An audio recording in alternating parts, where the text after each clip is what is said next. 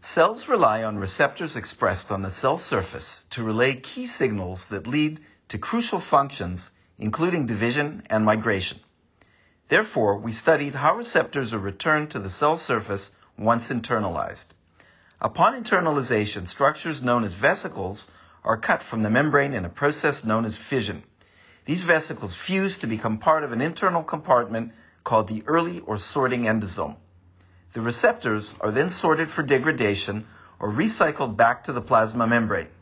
For this transport to occur, the endosomal membrane needs to first bend outward and bud to form new vesicles, followed by fission to release them. The actin cytoskeleton and proteins that control actin are required for this membrane budding and fission.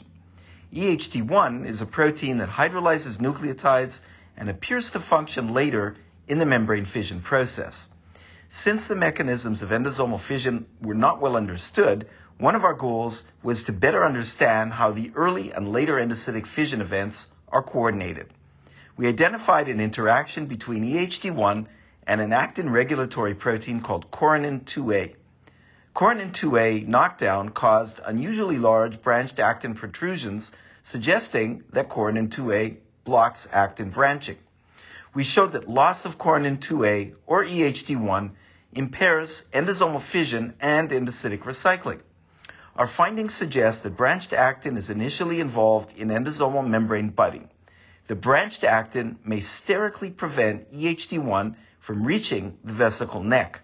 coronin 2A then turns off actin branching so that EHD1 can come to the vesicle neck and complete the fission process.